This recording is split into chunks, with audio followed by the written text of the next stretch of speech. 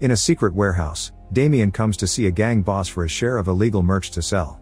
The boss thinks Damien's acting too twitchy and takes him aside to explain that he's heard there's a snitch in the gang, and when Damien plays the innocent, the boss confesses he knows Damien is an undercover cop.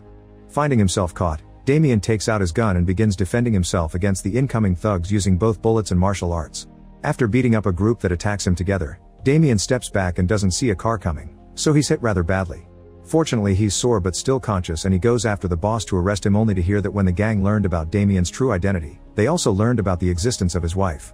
Terrified of the implication, Damien rushes back to his house, but it's already too late, his wife is dead. Years later, Shimon is starting another class at the local school when he notices a student is missing for the second time in a row. The other teens explain this boy has fallen victim to addiction and Amelia, who used to be addicted too, tried to make him see reason but she was ignored. At that moment, Shimon's son Kamil gets a call from the missing boy's mother, sadly informing him that the student has been found dead. This isn't the first time this has happened in this school, the institution has a serious problem with illegal merch being sold on its premises. Tired of losing students to addiction, Shimon calls his best friend Damien to get his help, but Damien lets the voicemail pick up the message because he isn't doing so well himself. Since he lost his wife, he started to depend on alcohol too much and he got fired from the police force. Nowadays he's nothing but a drunkard. However when night falls, Damien decides to get himself together and pay Shimon a visit to hear him out. Shimon tells him all about the problems the school is going through while Kamil overhears from the hallway, but Damien refuses to help, explaining he can't even help himself. Afterward, Damien goes to a store to buy more alcohol, where three thugs try to steal his wallet. Damien first asks for it calmly, but since they don't take him seriously, he immediately beats them up by grabbing things from around the store. Another shopper is annoyed by the commotion and gives Damien a bottle of whiskey just to get him to leave quickly. Meanwhile Shimon visits a warehouse at an address he heard one of the kids mentioning, but as soon as he reaches the door, he's caught red-handed. The next morning, Damien wakes up to see devastating news on the TV, Shimon was found dead in the warehouse. Because of the position he was found in, the police are saying he was the one behind the operation and that he finished things himself because he felt guilty over the loss of his student. Damien can tell his friend is being framed, so he goes to Shimon's house to investigate, ignoring all the reporters on the street. He gets to enter because he still has a few buddies in the force, and gets to comfort Shimon's wife, assuring her that she's right to think her husband was framed. When a detective makes fun of Kamil for having a criminal dad, Kamil tries to attack him, thus Damien has to cut in and explain he's just a teenager in shock to save him from getting arrested. Sometime later, Damien decides he must clean his best friend's name and gets in contact with a shady friend to acquire fake papers. Then he goes to the school and pretends to be a teacher that has come for an interview to take Shimon's position, which begins rather awkwardly when the secretary warns him not to apply because the school's too dangerous. Their conversation is interrupted by Principal Leszek, who hires Damien because he's the only applicant, and promises he'll be safe because he's hired a security team. He also calls for his deputy Agata, who will be in charge to show Damien around the place when he starts to work tomorrow.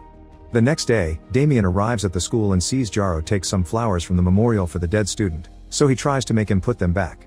Jaro doesn't take this well and calls for his gang buddy Mammoth to beat Damien up, but Mammoth is still a shy boy under social pressure and barely moves at all. Before things get to escalate, security leader Chmielski shows up with his men and sends the teens to the principal's office. He wants to confront Damien as well, but Agata soon comes to his rescue and explains he's the new teacher. Afterward, Agata shows him around and introduces him to their co-workers, including chemistry teacher Stefan, before taking him to meet his class, although Kamil isn't coming back to school yet because he'll need some time to grieve. The class is rather rowdy, but Damien immediately puts them in their place by taking a student's phone and not falling for their taunts. One teen isn't as obedient though, Frogface keeps bothering a classmate and ignoring Damien's warnings until Damien has no choice but to kick him out. Frogface refuses to go, so Agata sends Chmielski to escort him away. On his way out, Frogface threatens to meet Agata later. At the end of the day, Agata's at the parking lot when she's suddenly approached by Frogface and his gang buddies, who have stolen her car keys and now catch her with the intention of getting revenge. Nearby, Damien discovers someone has slashed his tires, and another teacher offers to take him home. As soon as they enter the parking lot, they see Agata in danger, and Damien comes to her rescue, easily beating all the thugs up even if one of them has a weapon. Damien does end up with a wound on his hand, but it's nowhere near enough to stop him, and Frogface runs away in fear. Agata takes Damien back into the school to bandage his hand and ask about his past, so to avoid answering questions, Damien teaches her how to defend herself when a criminal grabs her. Meanwhile the thugs take Frogface to see Jaro, who is one of the many people that sell illegal merch at school under the orders of a mysterious man in a bike. When the guy comes closer and takes off his helmet, he reveals to be Chmielski, whose security company is an excuse to have his men on campus. Both Jaro and Chmielski are angry because Frogface owes them money and got into trouble for wanting to get back at Agata, meaning a beating is in order. Jaro asks Mammoth to do it so he can finally get over his shyness and truly be part of the gang, which he's only joining because he wants to belong somewhere. The next morning, Damien arrives at school to see his car being towed. In the teacher's room, everyone is looking at the security cameras, celebrating Damien's victory, and Leszek explains he is paying for the towing and new tires as thanks. Chmielski's suspicious of Damien being such a great fighter, but Damien sticks to his story of just being a teacher. Afterward, Damien goes to the classroom only to discover the security footage has leaked and now all the students are watching it too.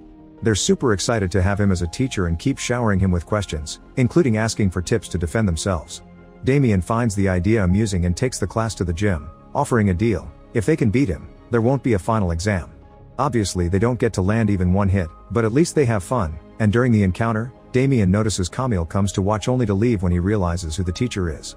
Damien follows Kamil to the changing room to explain he's here to find clues and prove Shimon's innocent, but Kamil reacts by jumping on him, furious because Damien didn't help his father when he needed him the most.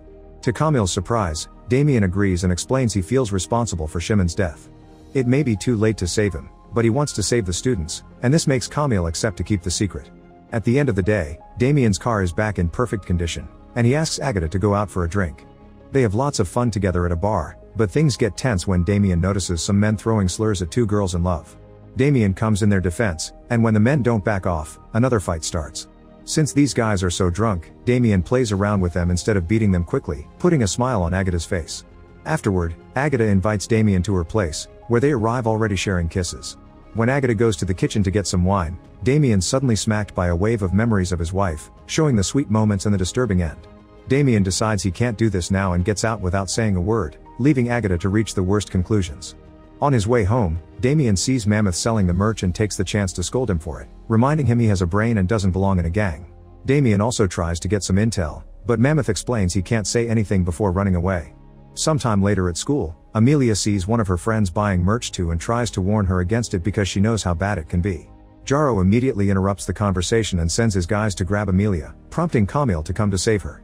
Unfortunately he doesn't know how to fight and the gang members quickly beat him up, then Jaro uses him as an example of what will happen to anyone that dares to intervene in the future. When Damien arrives at the school, Agatha treats him with cold professionalism instead of the camaraderie from last night. Once class starts, Damien finds Kamil's face all black and blue, but the teen only says he fell, and nobody dares to snitch on Jaro. Damien scolds them for not defending themselves, but the students remind him they don't know how. Determined to help them, Damien invites the group to come to his old dojo after class. The place is in serious need of renovations and that almost makes the students want to quit, but Kamil offers his support and that inspires everyone to stay. With everyone's help, the dojo gets cleaned in just a couple of days, and Damien puts extra effort into teaching everyone his best moves, being delighted to see how quickly they learn. At school, he continues to teach history and tries to connect with Agatha, but she still treats him like a co-worker and refuses to hang out. In his free time, Damien follows some of the gang members to see where they leave their merch and gets the chance to call the police on them. Now all that merch is confiscated by the law. Damien feels rather pleased with himself for this achievement, but he's not aware of Chmielski keeping an eye on him as well. During the next gang party, Jaro and the others agree they must do something about Damien. Sometime later, after the latest training session is over, Damien stays in the dojo to train by himself when he's suddenly approached by a bunch of men wearing ski masks. They're armed with sticks and better fighters than the average street thug, but Damien still manages to beat them all with his mighty skills, although he's sore and bleeding by the end. The next morning at the school, Damien notices Chmielski's security team displaying some serious wounds and finally understands they're part of the gang, but for now Damien only teases Chmielski without showing off his hand. Chmielski is furious that they're being played with this easily, but Jaro promises he has an idea to take care of it. After class, Jaro and the gang pay a visit to Amelia's dad with the excuse they want to fix an old watch, which they took from Shimon's the night he was killed. The poor man doesn't want any trouble and asks them to leave, but when Jaro is about to get violent, Amelia shows up. After sending her father to the other room, she confronts Jaro, who grabs her by the hair and demands she collaborate if she doesn't want to lose her dad. The next day, Damien arrives at the school to find everyone in a very dark mood. Amelia has accused him of taking advantage of her in the dojo, and now Leszek is firing him. Agatha and the students don't trust him anymore, and as the security team escorts Damien out of the building, Kamil comes after him to insult him for having tricked him into believing he was a good guy. Damien doesn't reply because he knows his word won't be believed. Meanwhile Amelia is so overwhelmed with guilt that she falls back into her old addiction.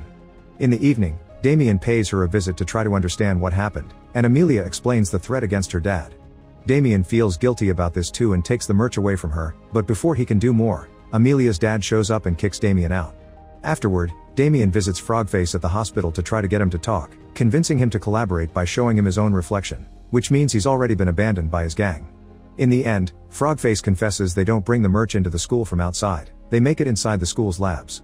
Damien rushes to see Agatha, intending to share this huge clue, but Agatha still doesn't want anything to do with him and kicks him out. While she turns around to call the police, Damien steals her school keys since she has access to the whole building. At the school, Damien finds the security guards are still around and has to sneak around carefully, hiding in a closet when necessary to avoid being seen. Once the guards are out of the way, he sneaks into the chemistry lab, where he finds proof that the merch is being made there. Suddenly Damien hears some steps and hides just in time to see Stefan coming in, because it turns out he's the one in charge of cooking. Fortunately Stefan leaves quickly to help the security men load the van, and Damien gets to take a few pictures of what's going on before he gets into his car and follows the van. By the time Damien makes it to the warehouse, the van has already been emptied and he gets attacked by the security team, but he easily beats them up by stealing their own taser and using it against them. Afterward, he calls Agatha and leaves her a message in her voicemail explaining everything. The next day, Damien presents the pictures to Agatha and Leszek, who points out that the pictures are blurry and not good evidence. This is the reason why Damien didn't go to the police. When Leszek calls Stefan and Chmielski to check, Stefan just says he worked late on an experiment for class and the security team helped him clean up.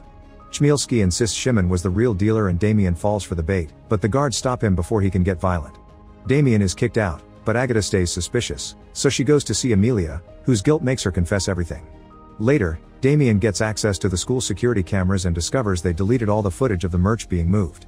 Feeling like he's losing control of the case, Damien begins drinking, and only stops when Agatha comes by to apologize for not believing him. Damien finally shares his whole story with her and Agatha kisses him to comfort him before agreeing to help. Then the duo visits Stefan to demand some answers, but Stefan doesn't give them any names, he only explains he's cooking for a gang because they threaten with killing his wife. Suddenly, Chmielski shows up on his bike and shoots Stefan, but he only gives Damien a dirty look before driving away. The next day at school, Leszek asks Agata to clean Stefan's locker while he has a meeting with Amelia, who has come to confess. In Stefan's locker, Agatha is shocked to find a hidden notebook with notes about the merch and keeps it for herself. A few hours later, Kamil and the other students go to the dojo to apologize to Damien because Amelia told them the truth.